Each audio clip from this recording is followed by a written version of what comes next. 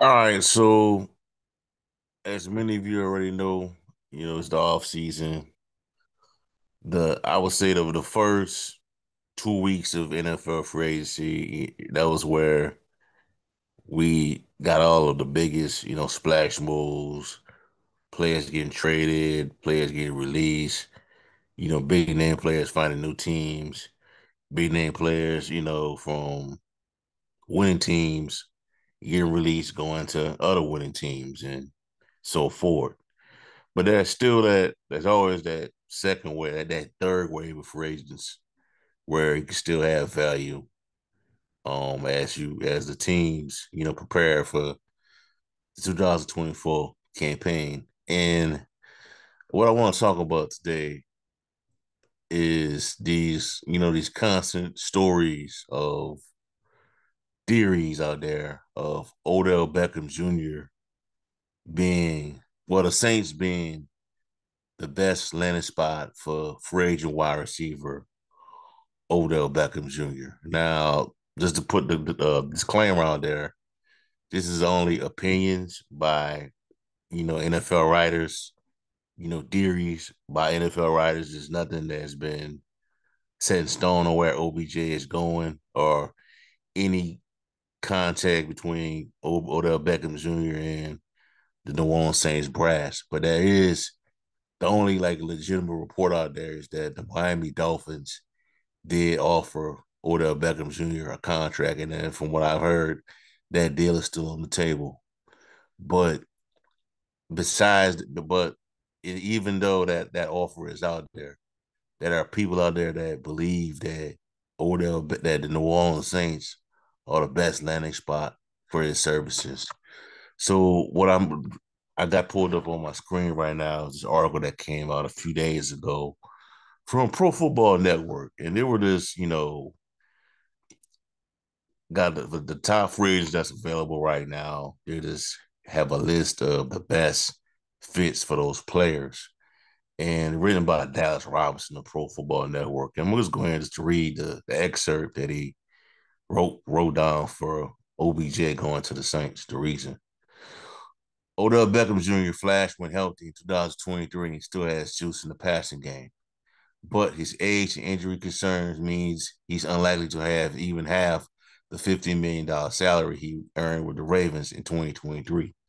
While the Miami Dolphins have made an offer to OBJ, we have a different we have a different fit in mind. The Saints have re-signed, have not. The Saints haven't re-signed Michael Thomas. He needed WR3 to complement Chris Olave and Rashid Shaheed. Beckham might be willing to take a hometown discount to return to his native Louisiana. In the story. All right. So my thoughts on that is this. He's right to a certain extent. The Saints will not give him, he will not, he will not get a one year, $15 million deal with the Saints. Now, I don't, and that it won't be a $13 million deal, $12 million deal. It won't be nothing in the tens. It's going to be probably like a one year, $5 million deal or $6 million deal. It might be one of those contracts similar to what Chase Young got. You know what I'm saying? But I don't know if Dennis Allen. Now I don't think OBJ is not active on social media as Michael Thomas was. He's not. He's not the one to like voice his opinion on the issues with the team as Michael Thomas did. Um, I, a lot of OBJ's posts on social media stuff I, I see it comes from his Instagram account, but I don't see him. You know, I don't think Dennis Allen wants to deal with that again. You know, I don't. I, I mean, a, a receiver that a third uh, at this point in his career is a WR three, and he commands that much attention in the locker room and the media. I don't think he wants to deal with that. To be honest, um, I don't know if OBJ will want to come here. I mean, um, I know this is this is the Louisiana, New Orleans, Louisiana is his hometown, but I don't think that's a big deal to him. I don't think, you know, being playing. I mean, you know what I'm saying. I don't think that story that part, that angle of the story means that much to him compared to competing for a championship, you know, being able to contribute, win games. That means I think that means a lot to him than being playing in front of your home crowd.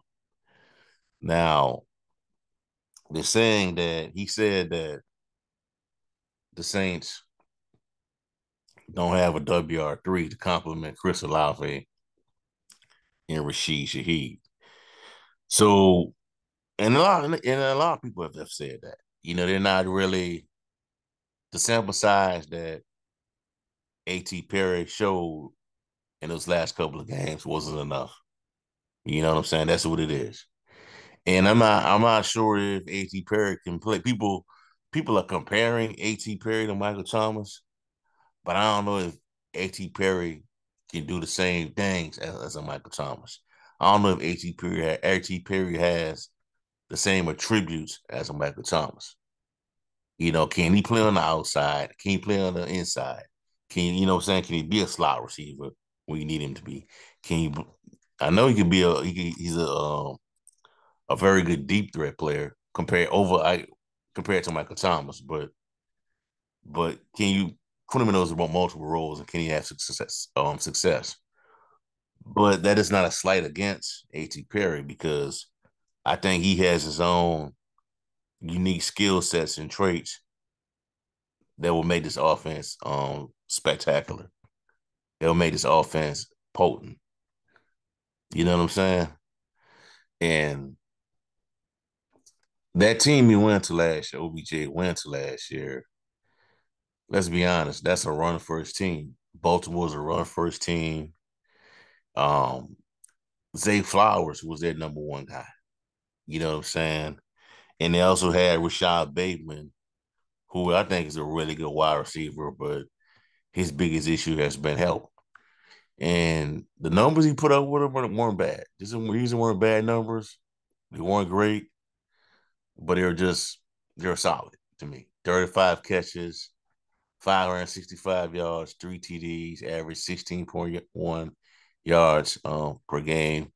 If we could get a guy a WR3 to do this, you know, catch 45, 50 passes, 500, 600 yards, receiving 700 yards, five, six touchdowns. I think we'll be a good team. We'll be a good offense, man. If, if OBJ could, if OBJ could sign with the Saints and do this, I think it'll help out a lot. It'll help out a lot. You know, but the Saints right now, man, have other pressing issues. And I know Dennis Allen said he would like to add another pass catcher to the offense. And I think you can get this production right here 35 catches, 565 yards, three TD, 16.1 yard average in in the, uh, in the draft. You can find this type of player that could put these numbers up and probably even do more than OBJ at this point in his career. You know, that way you're not spending any money.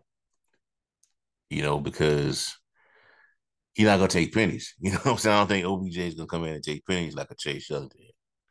You know, OBJ has won a Super Bowl.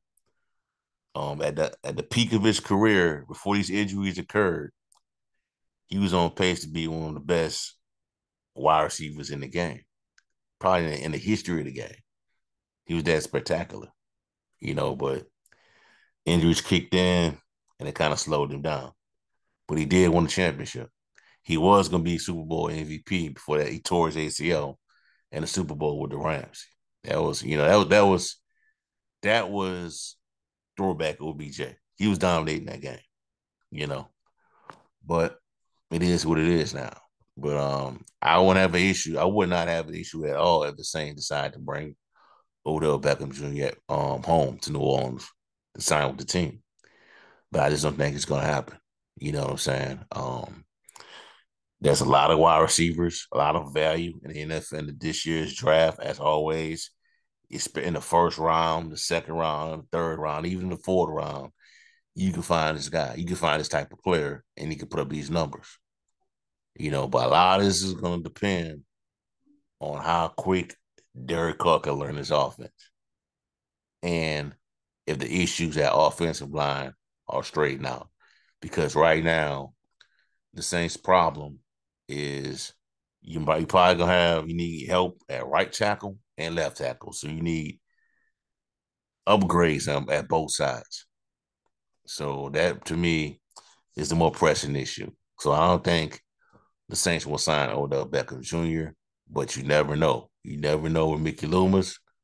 He at this time during this time of the year, things crazy things have happened. You know, uh, they will. I, I, do. I do expect them to make another big move after the draft, though. Um, there, there's a lot of players out there that can add to um, help out this team. So we'll see how it play out. All right, so that's y'all for right now, man. Give me a like, comment, subscribe to the channel. Let me know how you feel. Do you think the New Orleans Saints are the best fit for Odell Beckham Jr.? Also, check out strike7sports.com forward slash Saints for latest content on New Orleans Saints organization. Have a blessed night. Peace. I'm out.